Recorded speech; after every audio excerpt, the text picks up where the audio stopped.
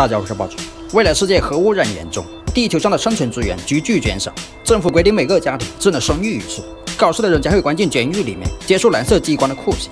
美国动作科幻片《天狱飞龙》又名《魔鬼武器》。在这个只允许生育一胎的世界，杰克和肉丝不幸失去了仅有的一个小孩。喜欢造人的他们又重新要了一胎。在经过边境检查的时候，肉丝被士兵检查出怀有身孕，这就严重违反了计划生育法，搞不好是要杀头的。杰克特种兵出身，下手够猛，三两招就将现场的士兵打到扑街，让肉丝先过关逃走。只是功夫再高，也怕被咬。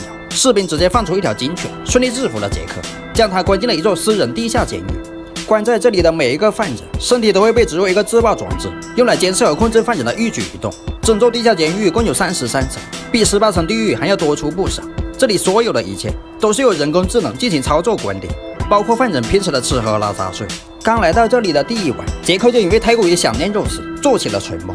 智能监控精准读取到他的梦境，还将画面传送到监狱长曹岩那里，全方位多角度的进行实时直播，感觉就像在看小电影一样。不得不说，这种超黑科技的东西很有市场前景啊！都说我当兵的都是很有正义感的人。杰克因为看不惯狱霸大佬欺负室友，和对方干了起来，在监狱里面打架搞事，那是绝对不允许的。智能监控马上启动，三人停了自爆装置，搞得他们像是生小孩一样疼痛。所有三人被关在一个蓝色激光的牢笼里，光柱产生热能，使人感到炎热冒汗。一旦受不了碰到光柱，身体就会被灼伤。室友因为胆子比较小，不敢指认大佬搞事。杰克只好假装承认是自己先动手的，于是被带到监狱长曹岩那里。曹岩知道杰克是特种兵猛男，打架斗殴什么的也是非常在行。但是现在肉身已经在他手上，就算再怎么威猛，也要学会听话服从才行。这边曹岩刚搞完，那边的大佬又找上了他，不给点颜色他瞧瞧，大佬就没法在这监狱混了。超野在那边看着，没有阻止他们，静静的观看这一场难得一见的单挑肉搏。眼看大佬就快要摔下去。超野命令杰克弄死大佬，只要照他的话去做，杰克就可以成为新的监狱大佬。但是杰克拒绝了，将大佬拉了上来。对于战败的手下败将，留着也已经没有什么用处。超野直接一炮送大佬去了上帝那里。这一切都被关在女主禁闭区的肉丝看到，两人终于五百唱情歌，再度重相逢。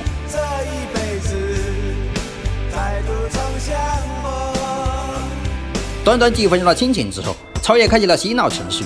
将杰克和肉丝的记忆写成了肉丝和浴霸大佬，让他以为肉丝肚子里的孩子是浴霸大佬的。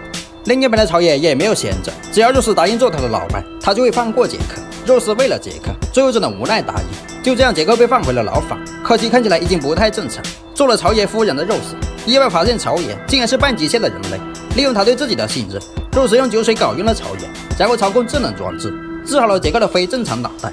杰克计划和其他室友一起越狱出去，拿出之前搞到了。一个自爆装置，研究出了。这东西里面的磁铁异性相吸的原理。于是众人利用这个东西搞出了。各自体内的自爆装置，再和肉丝来个里应外合，搞到水晶，研究出了。监狱构造和逃生路线图。说干就干，众人顺利炸开了通风管道。刚溜进去没多久，超爷就放出高温蒸汽，将他们困在里面。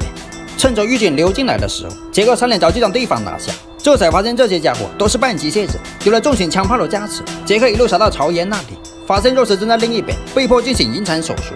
杰克挟持曹爷作为人质，结果曹爷因为违抗智能装置的命令，被一炮打成渣渣。